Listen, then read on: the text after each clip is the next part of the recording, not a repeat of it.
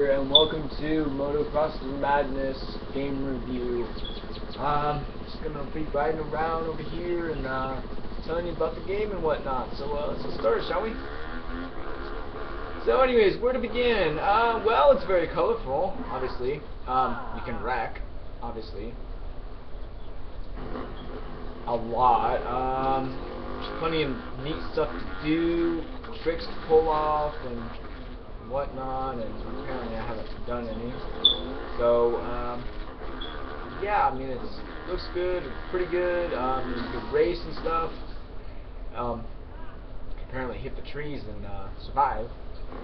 Um, so, good, uh, like, multiplayer uh, thing and, you know, like, whatnot. So, I mean, I've done a, uh, what was it, uh, update vi update video in the past about uh, whatnot, and I used this to do it because it was different. So um, yeah, and then uh, anyways, yeah, I mean it's a really good good game. I don't really know what else to say about it.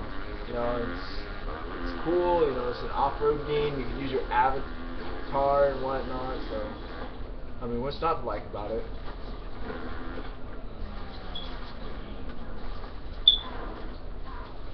And I mean, if you like, you know, if you're an off-road fan, you know, you're like dirt bikes and shit, I'd probably have to say this is a game for you guys.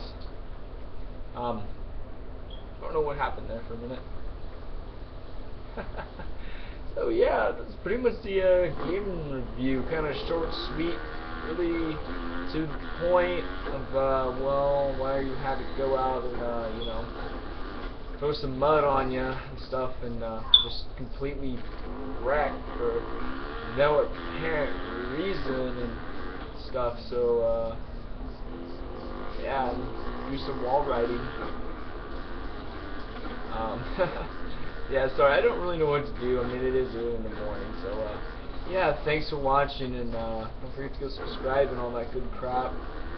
And uh, we'll uh, see you all uh, in the next uh, video. And uh, well, since it is Friday, let's see here.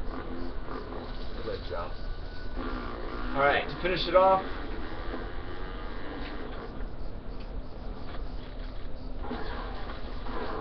Perfect. See you on the next video, everyone. Thanks for watching.